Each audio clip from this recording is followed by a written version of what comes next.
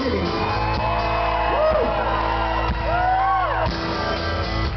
Yeah. Wherever you might be from tonight, you are in Atlantic City.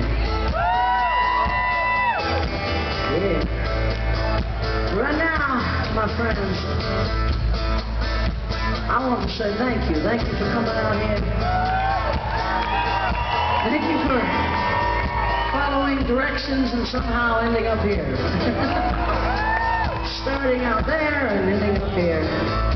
Thank you, thank you, thank you. We all stayed relatively. Well, we didn't have heat stroke, that's for sure. We still got sweaty and hot, but that's because we wanted to. Only that much. All right, I'm going to introduce my band to you now because I love them.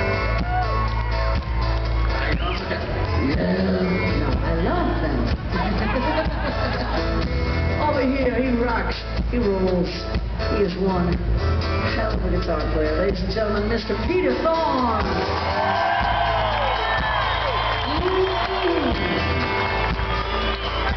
And back here, most of the time he plays the keyboards. He is extremely talented, insanely talented. Plays guitar, he plays the accordion, he plays all kinds of things.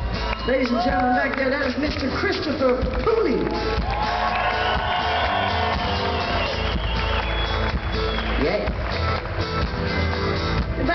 Drums. he, he's got a lovely smile. this guy here, this guy, this guy here. on the drums, Mr. Blair Sinta.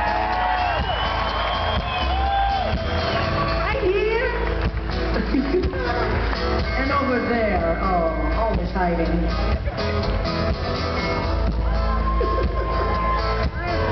they're not even they're not going to play with you, see? On the bass. Yeah, there he.